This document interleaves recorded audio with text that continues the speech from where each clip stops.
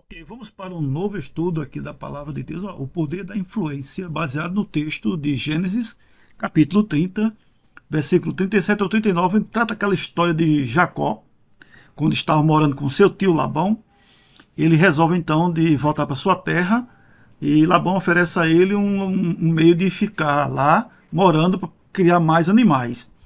E aí houve aquele acordo entre os dois para que Labão pudesse ter vantagem em cima disso, mas de fato quem teve vantagem foi Jacó.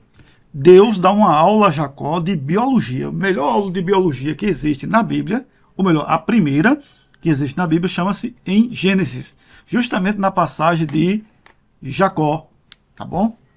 Ou melhor, na passagem de Gênesis, com a história de Jacó. Tá bom? Uma ótima aula de biologia. Vamos lá. Cruzamento de teste sobre genética. Vamos ver sobre isso. As cores.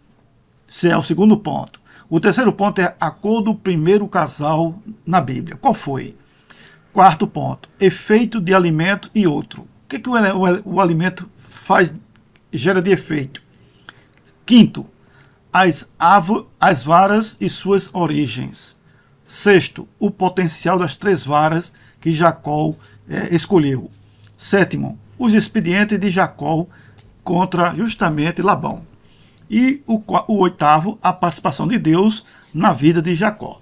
Vamos ao primeiro cruzamento de teste. No cruzamento de teste, o que nós temos aqui, baseado na passagem de Gênesis, capítulo 30, versículo 37 a 39, como já falei, trata-se das varas que Jacó utiliza para conseguir mais, é, mais animais. Então, o que estava em jogo ali era a biologia, ou seja, o gene. Justamente o gene, que é esse aqui, que estava em jogo naquela passagem ali. Que é justamente o gênero é o que vai definir ou determinar as características de um indivíduo. Ou seja, é o que o, inimigo vai, o, o, o indivíduo vai ser. Entendeu? Dentro daquela aquela gênese é o que vai ter, vai ser o, o inimigo, não, o, o indivíduo. Tá bom? Então, dentro dessa da gênese, vamos ter o, o recessivo e o dominante. Tá bom? Onde o dominante, vou chamar aqui de AA duas vezes, ou melhor, azão, e AA duas vezes e azinho, tá bom? Então, esse cruzamento de azão com azinho é que vamos ter exatamente é, o cruzamento de teste, onde vai ter justamente a definição das características do animal ou de uma pessoa, tá bom? Então, um, um brasileiro com um japonês, como é que sairia aquelas características. Então, quem é mais o dominante dos dois? Tá bom? Então, a gente vai descobrir isso aí ver quem será o dominante. Então, vamos lá. Aqui na primeira parte aqui eu tenho o A grande, que é o azão, certo? O A grande com azão. Então, se eu, de, se eu percorrer é, essa área aqui do, da linha azul, tá bom? Em direção ao outro azão, eu vou ter justamente dois dominantes, certo? Se cruzando que o resultado vai ser dominante. Azão, azão. Entendeu? Então, se eu cruzar um animal forte, como diz a Bíblia lá, em Jacó você vai encontrar a palavra forte. E também vai encontrar a palavra fraco no texto. Então, o forte é o azão. E o fraco é o azinho. Então, se eu cruzar um forte com outro forte, eu vou ter o resultado que realmente é esperado. Mas se eu cruzar com um azinho com azinho, o resultado vai ser bem estranho mesmo. Então, o que é que Jacó fez nos textos? Ele procurou a trabalhar justamente os animais fortes. Não, não é forte é, em porte físico, mas sim forte na, no gene. Então, é, isso ele recebeu essa aula de Deus. Mas vamos ver mais na frente. Então, se eu pegar aqui é, o azinho, certo? O azinho, e cruzar esse azinho com nessa linha aqui é lilás, com esse azinho aqui, eu vou ter azinho, azinho. Ou seja, eu vou ter justamente um recessivo aí. Então, o que vai acontecer? Quando eu for cruzar um animal que ele não, não tem a predominância, com certeza não vai nascer aquilo que eu desejo. Então, Jacó foi o que ele fez. Ele pegou tudo que de animal que tinha a predominância é, do dominante, ele colocou em um determinado lugar para que pudesse justamente ter aquela reprodução da forma que foi feito o acordo com Labão. Tá bom? Então, essa foi a aula que ele recebeu de, de Deus, é, em, em, cima de visões é, ele, teve, ele, teve, uma visão com, com o anjo e recebeu essa aula. E, e Jacó colocou em prática toda essa aula. Então, se eu cruzar, quer dizer, se eu botar para cruzar um animal com é, a característica de asão, certo? E com as características de azinho, eu vou ter asão, azinho. Então, eu vou ter aí uma predominância diferente, certo? Porque quem vai, quem vai definir a predominância é o asão. Então, nessa, nessa, nesse cruzamento aí, quando tem assim de é, asão com asão, que é justamente o homozigoto, eu vou ter justamente o conteúdo é, das características que eu desejar, entendeu? Então, se eu estou usando aquela forma, eu vou ter o resultado disso. Vamos lá. Vamos ver uma outra, uma outra forma, uma outra explicação bem diferente agora. Aqui nas cores primárias. Eu tenho as cores primárias e as secundárias. Bom, se eu pegar uma cor primária, amarela, azul e vermelho, que tem essas três cores primárias, e eu pegar duas cores daqui, eu vou obter uma cor secundária. Ou seja, a junção de duas cores, misturando duas cores primárias, eu vou ter uma cor secundária. Então, laranja é proveniente de duas cores primárias. O verde também e o roxo também. Então, esse cruzamento de cores primárias, é, juntando, eu vou ter cores diferentes. Então, aí vem o arco-íris, ou seja, vermelho, laranja, amarelo, verde, azul, anil e violeta. São as sete cores do arco-íris, nessa sequência que você está vendo. São as sete cores do arco-íris. Está aqui o arco-íris vermelho, laranja, amarelo, verde, azul, anil e violeta. Cada cor tem o seu significado na lateral aqui, mas não convém falar sobre isso no momento, ok? Ao novo procedimento, vamos lá agora. Adão e Eva. Qual foi a cor do primeiro casal na Bíblia? Bom, aqui em Gênesis diz: formou o Senhor Deus ao homem do pó da terra. Ora, se ele formou do pó da terra, com certeza foi a cor da terra. Mas qual era a terra? Era uma terra clara ou era uma terra escura? Ou era um barro? Ou era uma areia de praia? E tem várias ter terras é, no, planeta Terra. Então vamos lá. E suponhamos que a cor foi a cor clara, que foi feito Adão. Suponhamos, tá bom? Suponhamos. Então, no mapa aqui da, da, da África, eu vou encontrar duas mulheres aqui, ó, de cor escura. Ora, se nasceu, se o casal for, é o que eu estou imaginando, tá bom? Se o casal tem sido feito com cor clara, por que que existem mulheres ou homens com cor escura? Entendeu agora aí? Então vai saber por que que isso aconteceu. Ou suponhamos que o casal lá que Deus fez tem a cor escura, como tem dessas mãos aqui. Então, no, no continente asiático, é, você vai encontrar o que nesse continente asiático? Você vai encontrar mulheres ou homens com cabelos lisos, cabelos brancos, cabelos galegos e rosto cor branca, olhos azuis, olhos verdes. Mas por que, que isso acontece? Se vê de um casal só, não teve, não teve mistura de, é, de casar, por exemplo, o Adão lá, ele não teve, ele teve Eva e teve outras mulheres? Não. Eva teve outros homens? Não. E porque só veio só de um casal que é a mesma cor, porque ela foi formada do, do corpo dele, ou seja, idêntico. Então, por que, que a cor era idêntica? E por que houve cores diferentes? Por que, que o homem ficou branco, ficou preto, ficou cinza e por aí vai? Olha só, será que a influência do calor, do frio, do chá, bebida, planta, do ambiente em si, do clima, etc., é, vai mudar as características da pessoa? Será que isso muda porque uma pessoa morena lá na África, ela tem um cabelo um pouco enrolado, que favorece justamente a temperatura do ambiente. Ou seja, o, o cabelo enrolado, ele gera espaço entre um cabelo e outro, para que o, o vento corra entre o cabelo e não esquente a cabeça. Já ao contrário de uma mulher que mora num, num local asiático. O cabelo dela é liso, é, é composto. Então, lá não, necessita, lá não tem muito calor. Então veja que o, o, cabelo da mulher na África se adaptou ao ambiente, ao clima. E no, na, no local onde há frio, se adaptou ao ambiente frio. Então vamos lá. Aqui, ó, bebida ou cigarro altera algo na pessoa? Vamos lá, só um exemplo. Não é que uma pessoa que bebe Vai ficar assim. Então vejam, nessa primeira figura tem um, uma figura de um homem bebendo alguma coisa, um líquido, e as características de uma pessoa que bebe, geralmente ela fica gorda. Porque cada vez que mais bebe, mais come. Então a tendência é ficar gorda. Já o contrário do, do, da segunda foto. Uma pessoa com um cigarro na boca demonstra que é uma pessoa que fuma. Quem fuma muito esquece de se alimentar. Ou seja, o cigarro tira o apetite é, da pessoa que, tá, que, é, que vai, vai se alimentar. Então a pessoa deixa de comer por causa do cigarro. Deixa de fazer muitas coisas por causa do cigarro. Então, o que acontece? Não é que eu estou dizendo que o, a, o, a, bebida vai deixar a pessoa gorda e o cigarro vai deixar a pessoa magra. Não, não são todas as pessoas. Mas geralmente acontece essas características. Então veja só. Por exemplo, aqui, ó, o arroz, fermento e o açúcar. Mais abaixo tem um vídeo que eu coloquei aqui na descrição. Ou se não, na, na, na parte mais abaixo. Onde você vai ver um vídeo que uma galera do presídio produz justamente uma cachaça, certo? Com esses três ingredientes: arroz, fermento e açúcar. Ele produz justamente uma caninha dentro do presídio. Então, é, também tem um vídeo mostrando como é que faz, como é que é, é, aprende a, a, o cruzamento de teste mais abaixo. Tá certo?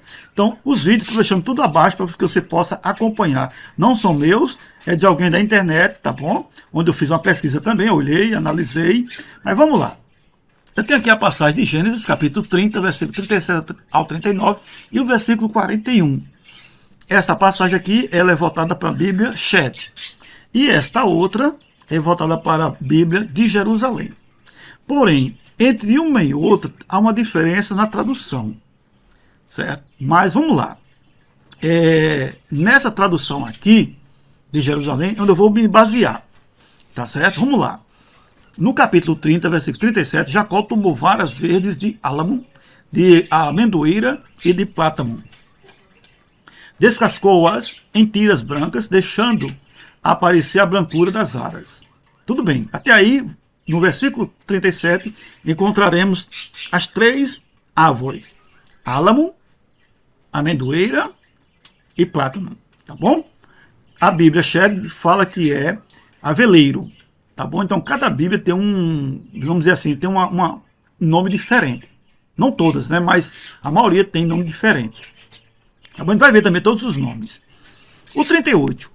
Colocou as varas que descascará diante dos animais nos tanques de e bebedouros, onde os animais vinham beber e os animais se acasalavam quando vinham beber. Se eu é, suprimir, se eu retirar o conteúdo vermelho dessa, dessa frase aqui, do 38, e ler só o que está em, em lilás, vamos lá. Colocou as varas nos tanques e bebedouros.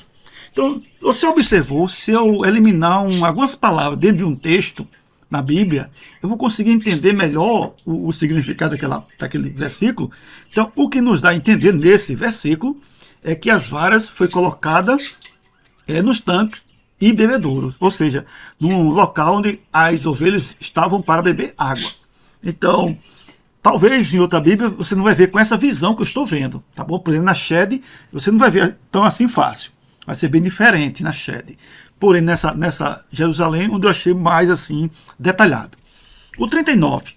Eles se acasalavam, portanto, diante das varas e pariam crias listadas, salpicadas e malhadas. Então veja só, aqui eu estou vendo agora, esse versículo, três é, características de animais: listadas, salpicadas e malhadas. Tá bom? Então vamos lá. No 41. Além disso, cada vez que se acasalavam animais robustos, aqui apresenta a palavra robusto. Na Sheda apresenta a palavra forte. Jacó colocava as varas diante dos olhos dos animais nos tanques para que se acasalassem diante das varas. Então, se eu retirar novamente aqui o texto vermelho e deixar o texto lilás, colocava as varas aonde nos tanques. Então, dá a entender que as varas eram colocadas dentro do recipiente onde eles tomavam água. Tá bom? Dava a entender isso. Não está tão claro, não tem a palavra dando essa direção que eu estou falando. Mas quando tira texto de um texto, ou melhor, quando tira algumas palavras de um texto, você consegue entender isso aí. Tá certo? Então, só para essa curiosidade que eu estou mostrando a você. Agora, vamos conhecer o nome das plantas. Ou melhor, é, a origem delas. Eu tenho aqui o, o álamo, origem Europa, Ásia e África. Essas varas eram um propósito na vida de Jacó. Então, como essas varas não tinham no ambiente onde Jacó estava morando, que era justamente é, ali no, no Iraque, nesse mapa que você está vendo, né, no Iraque. Então, como a, a, não tinha lá, e era um lugar longe, Jacó tem que correr atrás do seu propósito. Então, todos nós precisamos correr atrás do nosso propósito. E Jacó correu atrás do propósito dele, não foi fácil. Tá bom? A veleira, origem América do Norte, Ásia Menor a, a, a Jerusalém mostra a amendoeira, que é no Oriente Médio, ou seja, nas proximidades de é, Jacó. Tá bom? E o plátano, origem, Península Ibérica e Amazonas. Então, veja que essas plantas, essas árvores, cada um tem um nome aqui abaixo, ó, certo? E a, e a foto de cada uma delas, tá bom? O álamo está aqui, ó, que serve até para ornamentar uma, uma estrada, fica muito bonita. O aveleiro tem suas frutinhas aqui ó, nas folhas. E o plátano, essa, essa árvore aqui. Ó. Então, cada uma tem suas características de distância, de tamanho, de, de, de, de forma de, de desenvolver. Agora, vamos ver para que serve cada uma delas, certo? Por exemplo, tem Bíblia que diz álamo, estorac e chopo, tá bom? Aí na outra planta, aveleira ou amendoeira. E a outra planta, ou árvore, plátano ou castanheiro. Então esses são os nomes encontrados nas Bíblias. Eu, pego, eu li em todas elas e achei esses nomes, tá bom? Mas vamos para a primeira. A primeira, o álamo, quando exposto ao sol, a haste vermelha poderá ser um fator no aumento da taxa reprodutiva nas ovelhas. Então, olha só, é, no caule da, da, da folha, é, um, que é vermelha, o caule, quando é colocado no sol, há uma reação, certo? Há uma reação é, justamente no aumento é, reprodutivo das ovelhas. Então, há uma reação quando está diante do sol com a água, tá certo? Com a presença das substâncias avermelhadas, esse vegetal dá uma coloração azul com sais de ferro, que inclui o aumento da utilização de proteína na forragem, na, na, na pele, né? Na forragem, e um aumento no esparto. Então, observe que este, esta planta ela dá uma alteração dentro do animal. Ela, ela, a, a cor avermelhada ela leva o animal a ter uma, uma, uma pele mais forte, mais robusta, certo? Como diz a, a Jacó lá, né? como, como diz Moisés no texto, né? É, forte, então um pelo mais forte, mais robusto, né? E aumenta o parto, ou seja, faz com que, que o parto tem uma aceleração. Então vamos lá. Veja o que, é que essa planta faz. Agora vamos para a segunda. A amêndoa é eficaz na úlcera, vesícula, pedra renal, rim e bexiga. Alivia a dor de urinar, alivia a emissão de urina por queimação e todas as infecções dolorosas do trato urinário. Então, veja que ela tem um, é uma planta medicinal que vai tratar justamente as dores aliviar a, a bagunça do, que deixa algum, alguns alimentos e ela faz uma limpeza no, no, no, no né, na parte de, de, dos rins e da bexiga e por aí vai dos animais e também da pessoa, né? O judeu usava casca de amendoeira para aumentar a produção de leite materno e diminuir as dores de parto no gado e tratava as hemorragias. Então observe que esta planta não só tratava as doenças de alguma coisa, como também eliminava as hemorragias, como ele diminuía as dores de parto. Então o animal ele passava a dar uma, um parto com mais eficaz, com mais, mais sorridente, mais alegre, entendeu? Então tinha uma planta que realmente produzia, é, dava, dava impulso na, no parto e, e a outra limpava as doenças dentro do corpo do animal. E a terceira apresenta benefícios anti-inflamatórios e gastrointestinais. Olha só, essa aqui já apresenta algo que vai combater as infecções no animal. Então, se o animal está é, com corte, é, cortou uma, parte do seu corpo, então essa planta vai o que? curar essas doenças, essas, essas coisas no animal. Além dos benefícios à saúde das ovelhas, um animal macho saudável é mais provável ser visto como um parceiro em potencial pela fêmea e assim aumentar a probabilidade de transmitir seus genes. Então, olha cá. Então observe que esta planta aqui, ela que vai dar o pontapé final para que o animal venha ter justamente aquilo que Jacó estava é, ansiando para que nascessem os seus animais, salpicados, malhados né, e o outro. Né?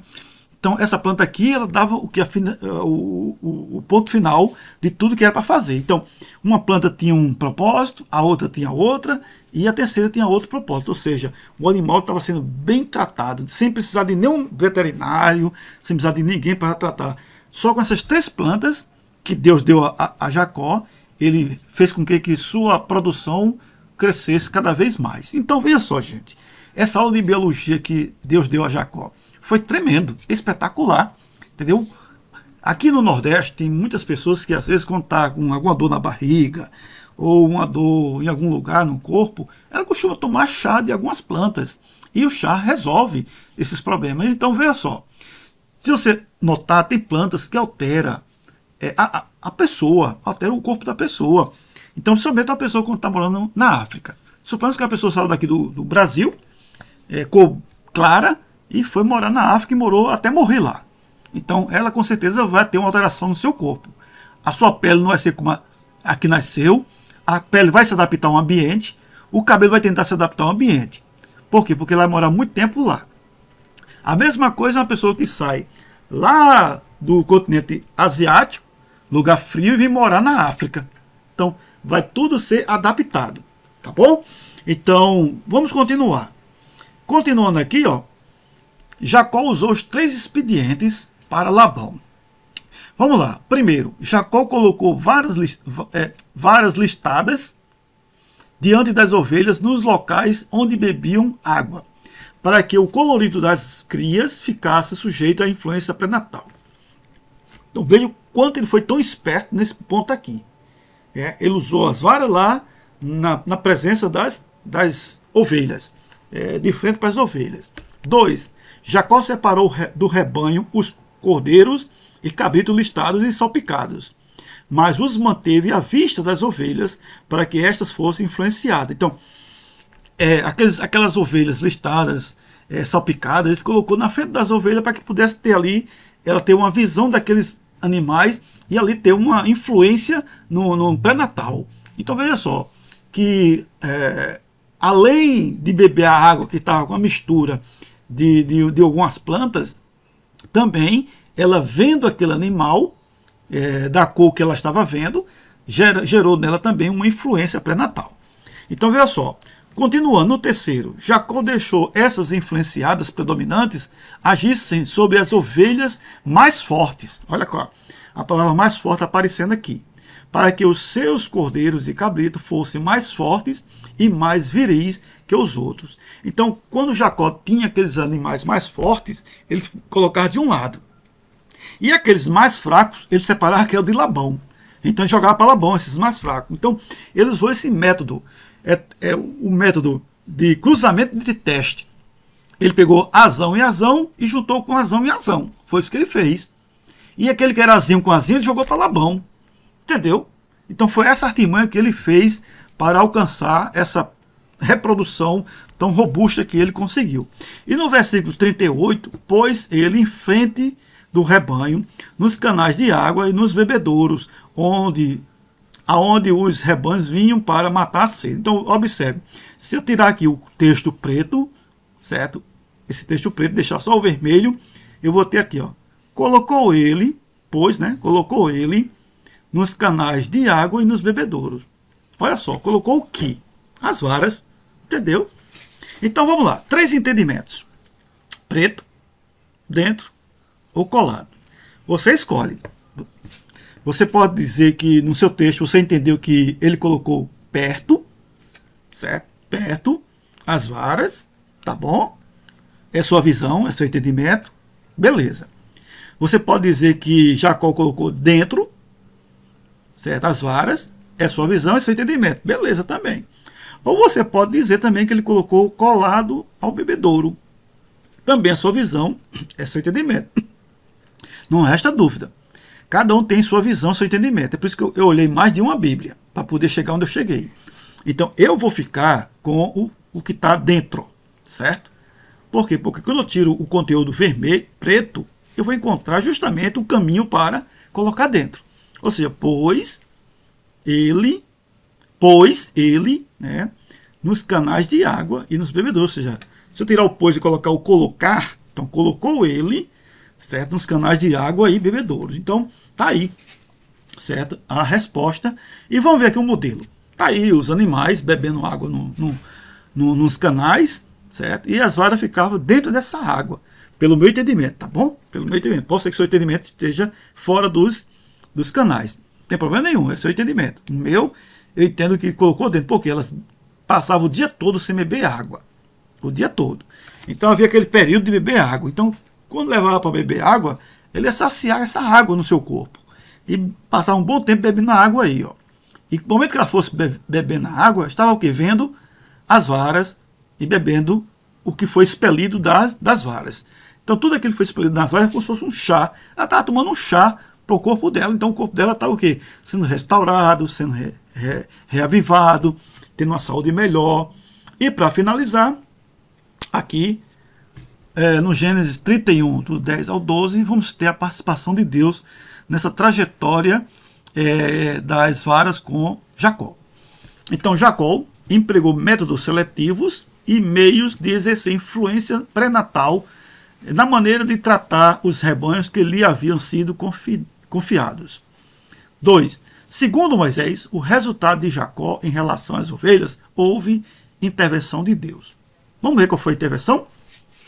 No 31:12, ele continuou: Levanta agora os olhos e vê que todos os machos que cobrem o rebanho são listados, salpicados e malhados, porque vejo tudo o que Labão te está fazendo. Então, observe aqui a palavra, a palavra cobrem, aparece aqui cobre, ó, certo? Que é justamente acasalando. Então, todos os animais que estão acasalando o rebanho são então, isso é Deus dizendo para quem? Para Jacó. Ou melhor, o texto começa mostrando que é um anjo, né? mas a gente sabe que é Deus. Então, dá aquela visão a Jacó dizendo: olha, os que estão acasalando, certos machos que estão acasalando, vai nascer listados, salpicados e malhados. É o que o anjo estava dizendo ali, Deus está dizendo para Jacó. Ou seja, ele deu aquela visão, certo? O texto não mostra que Deus indicou as varas, não mostra isso. Mas eu acredito que nessa visão Jacó deve ter o sentido é, algo dessa natureza, né? E ele usou as varas. Então é como se Deus estivesse dizendo assim: ó, Jacó, ponha os animais diante da, do local onde bebe água, coloca algumas varas lá dentro, vai servir de chá para eles. E esse chá vai fazer alteração no corpo e vai mudar a genética do corpo da, desses animais e tu vai ter o, o teu esperado, que é justamente o acordo que tu fez com Labão. Então, mais ou menos esse linguajar que eu acabei de falar. Então, Jacó, quando acorda, ele pega, faz essas coisas aí, entendeu? Então, pôs ele em frente do, do rebanho, nos canais de água e nos bebedouros.